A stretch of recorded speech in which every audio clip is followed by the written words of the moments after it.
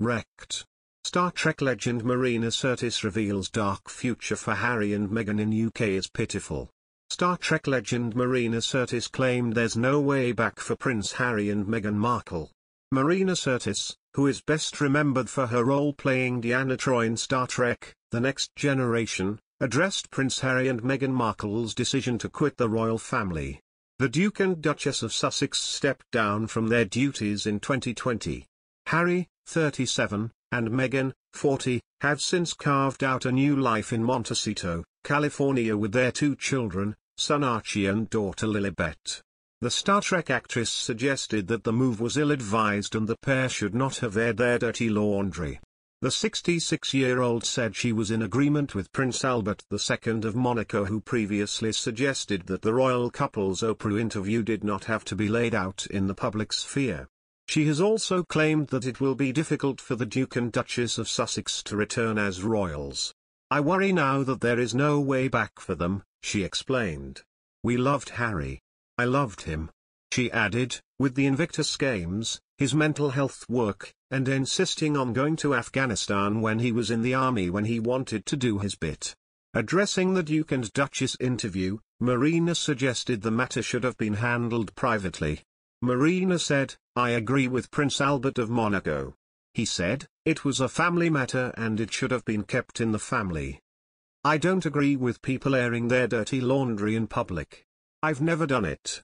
There are things I could say about my family but I'll say it to them. She added, I think they were ill-advised in doing this. During the candid interview, which took place in an undisclosed location in Los Angeles, the pair opened up about the difficulties they faced as senior royals. Prince Harry previously shared more insight into more in-depth interviews including Dax Shepard's podcast Armchair Expert where he compared royal life to The Truman Show. Meghan and Harry have faced strong criticism since their tell-all Oprah Winfrey interview. Royal author Anna Pasternak also claimed, Meghan Markle will never come back to the UK because of her fallout with the royal family and her low popularity with the British public.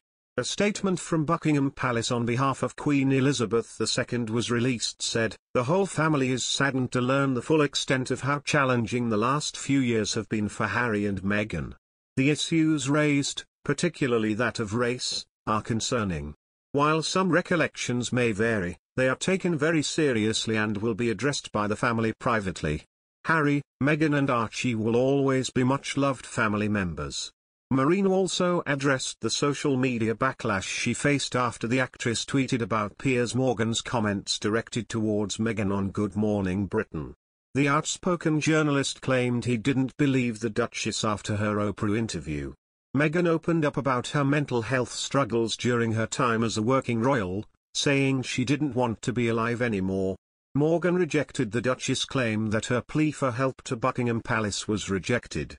He said on Monday's GMB, Who did you go to? What did they say to you? I'm sorry, I don't believe a word she says. I wouldn't believe her if she read me a weather report. Marina admitted she agreed with Piers but later ducked after a torrent of online criticism. It comes after she took to Twitter and penned, What is the world coming to? I agree with Piers Morgan. Hashtag GMB Hashtag Meghan and Harry on Oprah.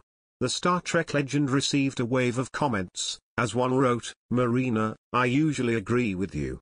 I can't believe you agree with Piers Morgan. And for the first time I disagree with you, another penned.